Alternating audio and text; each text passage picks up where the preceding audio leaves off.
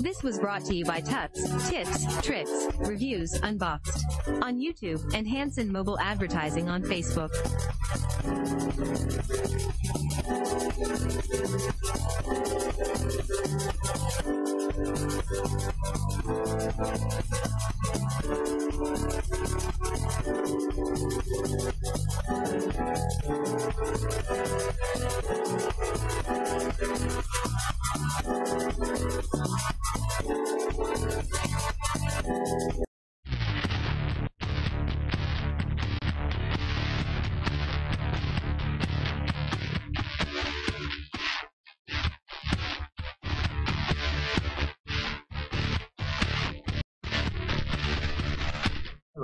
everybody. This is Roger Hanson coming back to you again with another episode of Working with Audio and Video um, from Tips, Tricks, Reviews, and Box.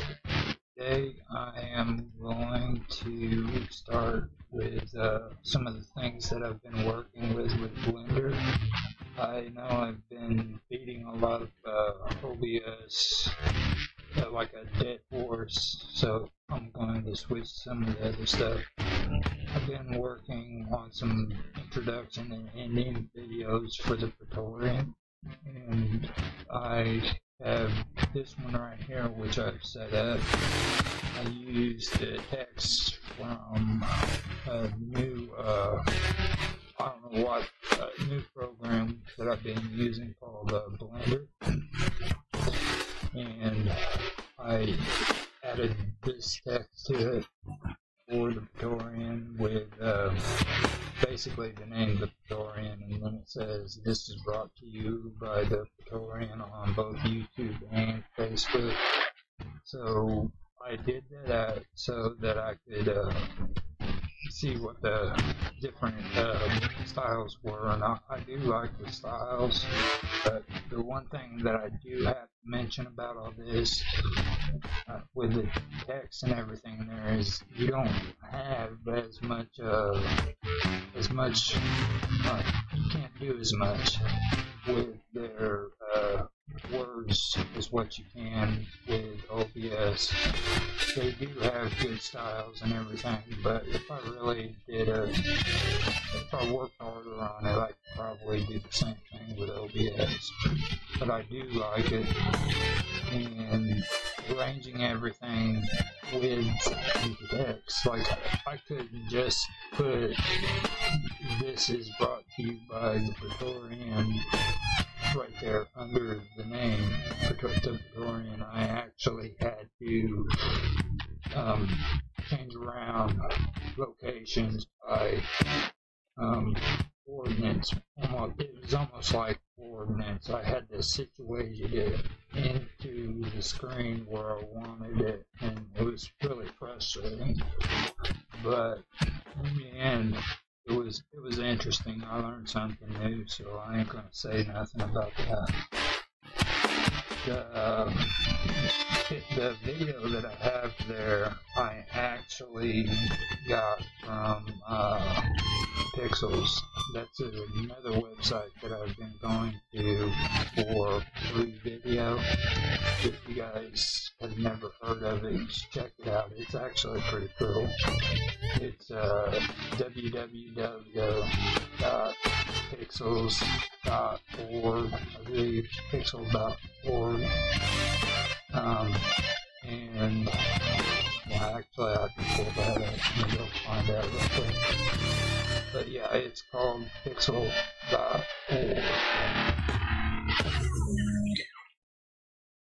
Down here and see what way.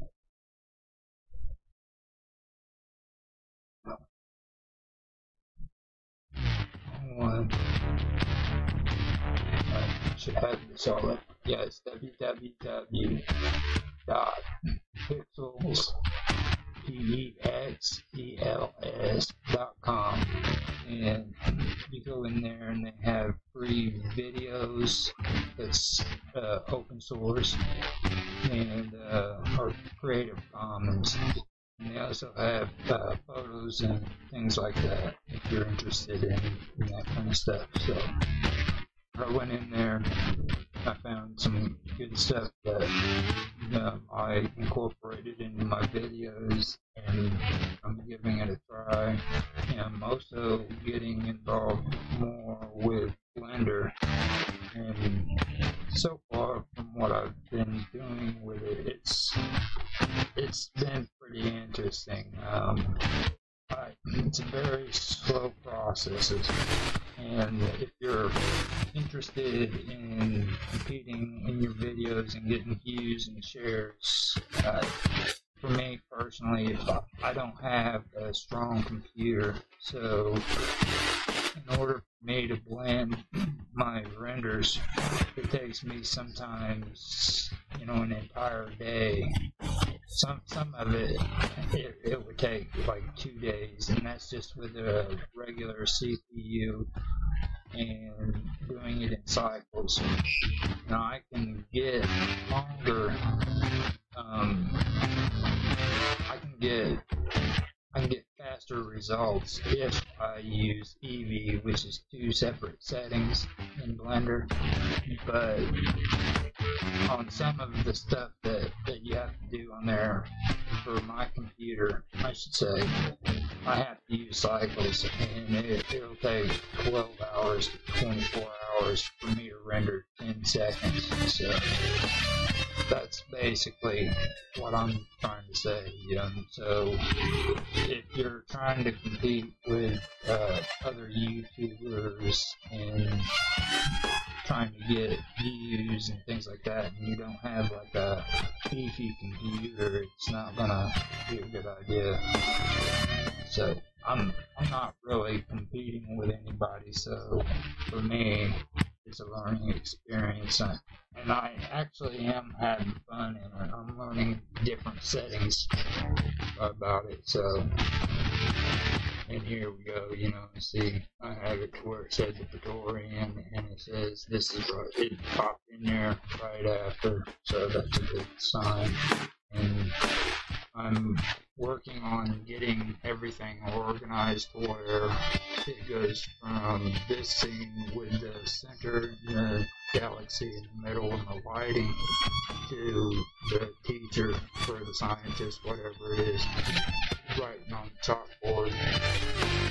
And these are clips that I took when it came to incorporating everything together. Put, we thank you for your participation. If you enjoy, please like, subscribe, and share. Now this had audio to it too, but it's something else I wanted to mention. Um, when I make these videos working with audio and video, before I was just letting the old audio play on it and some of it was from YouTube, and some of it was from uh, from uh, Facebook. Now on Facebook, they've got this guy on there, and he actually he actually um, puts free music on on uh, on Facebook. Okay but the deal is if you go to use that same video with the song that he has on Facebook, on YouTube, then he tries to get you for copyright infringement. And I personally don't want that on any kind of record that I have, Facebook or YouTube, you know. So I basically took it and um, I, I, basically put it on hold. And the song that I had a problem was with was uh, called "Watching in a Waiting Feed." It was by Philip Pepperin, and he's playing some games. You know, I that's the thing that I brought up in some of my previous videos about these people and copyright infringement. Okay, I think they should be able to pick and choose which website gets to use their music. So they'll allow you to use their music on Facebook, but if they don't like it being on YouTube, they'll have it flagged. And what I basically did was I contested it. Um, YouTube started coming out with uh, with information saying that you know a lot of this isn't going to affect your channel if uh, you get uh, if it's contested or if it's uh, if it's got copyright infringement. So they have to make the decision. This guy Kevin, and after he sees my video and decides that I've infringed on it or didn't infringe on it, he has to go after. He has to come after me on his own. YouTube can't do it for him. So that's the way I see it. You know, I contested it and I turned around and sent a message and said, "This is free music. It's been uh, made free music on Facebook." And right after that, it's just been the the, the complaints and dropped. My video hasn't been taken off, but on, it too, he was just making it where it can be monetized, and I don't monetize. So it was no big deal to me about stuff like that, about being monetized and stuff. But I just don't want any of that affecting my uh, YouTube videos or my channel. So those are some things that I did want to get out there and let you guys know about. And I know that a lot of my videos has been repetition and repeating itself, but you gotta understand I've been going through processes each time that I've done this, so get farther and farther when I first started out with stuff, it was hard for me to even get the video to move. So I get my or get the audio to play and the video to move. So I had to learn about audio and the easiest way to do it.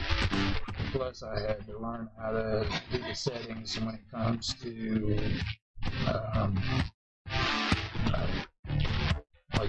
rate and stuff like that, frames per second. And when I finally started doing that, I had to start learning about the, my internet connection, how fast my upload speeds are, things of that nature. And a lot of things that I've been learning on the encoders with OBS and its settings. I've learned that it doesn't really coincide with what YouTube or Twitch or Facebook considers as good. Like I get warnings on there about drop frame rates and the only thing I can do is just let it happen because my upload speed is too low for me to even, you know, even do anything about. The most that I can put on mine is about 12 frames per second. And that's with, uh, that, that's the best I can do. So, and I've, I've had to work with that. And I know people have been saying that I don't have the best quality of videos, but at least I can put videos up and they don't freeze up. I started out doing video games, and one of the games I used to play and try to uh, stream and record was Minecraft. And on Minecraft, when I would go to open tests, the the chest would literally stay closed and you could hear the chest open, but it wouldn't show any of that in the video. So I had to learn how to go and work on my uh, bit rates with it. And this video back behind here that you see, all these videos are uh, free on Pixel.com.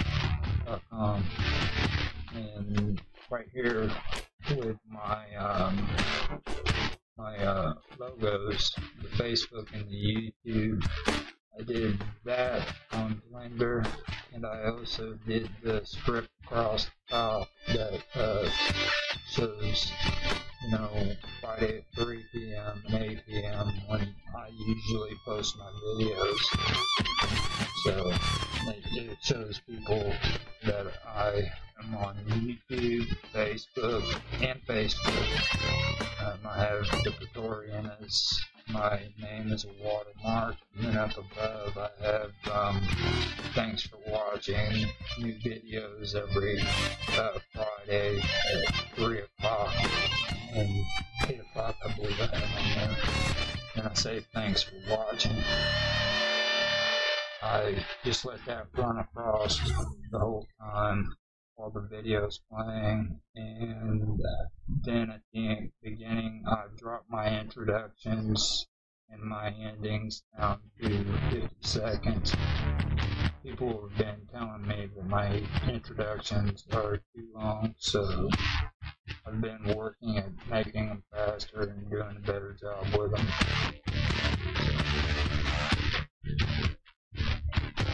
and like I said, on this, uh, it doesn't have music right now, but I'll be adding music according to, for me right now as I'm doing this. So I can't, I don't have any music on it. Should make that clear. You guys are going to hear music because I'll add it after I do this video and it'll be incorporated into the video. You'll be able to hear my voice and hear the music at the same time. They won't interfere with one another. The way I did that is going into OBS and working on the filters. I made a previous video about it, but the best way to, to get into that is to uh, go onto your OBS, right click on like, uh, like say your media source, and um, okay, let me do this. Okay, you go in, click on uh, filter media sources, and uh, uh, menu pop up and it'll say filters down at the bottom by the properties. You turn around and you click on that, and when you click on that, you'll see your uh, uh, filters for your media source. And then there'll be a plus, negative, and an arrow pointing up, and an arrow pointing down. And it'll say affect filters. Now, just under that, you'll see more plus, another plus, minus, and then up and down symbol. You click on the plus, and it'll give you um, options like apply, LUT, chroma key, color correction, color key, crop, things like that. And that would be for the video. And then uh, they also have ones on the top which is has the plus, negative, and then the arrow signs. If you click on the plus there, it gives you the compressor, the expander, the gain, the noise gate, limiter, noise suppression, and stuff like that. You click on that, and that is what I was using, or I've been using to incorporate both music and audio together with uh, my videos so that you can hear both and they don't interfere with one another. Then I also had to learn how to organize and what order to do that and get it done. So, like, I don't do my audio at the same time as I do my music. You know, I let them blend together because, like, I'm recording this now and talking to the microphone. When I run it back through the OBS, my voice could be lower or it could be way too high. And with that, but I can turn around and adjust it. This is my first attempt at Blender. Actually, I had quite a bit of attempts at Blender.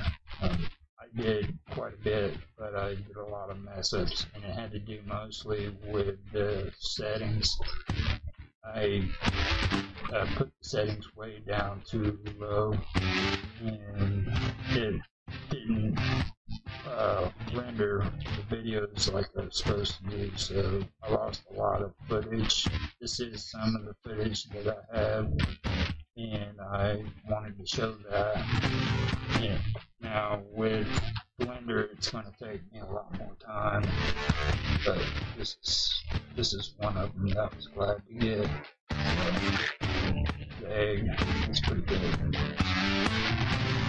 And the egg is actually after this scene with the red uh, cube, so I'm, uh, I, messed up on that one. It, was supposed to be the other way around first. They were supposed to do this and then the egg.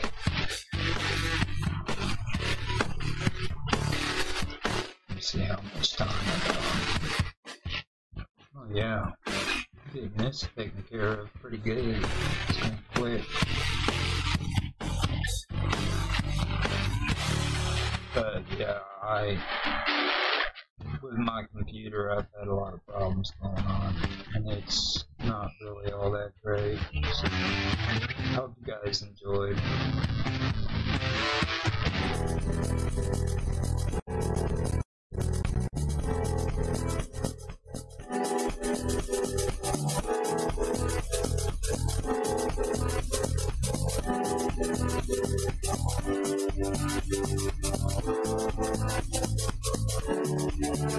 This was brought to you by Tuts, Tips, Tricks, Reviews, Unboxed, on YouTube, and Hanson Mobile Advertising on Facebook. We thank you for your participation. If you enjoyed, please like, subscribe, share, make comments. We love feedback.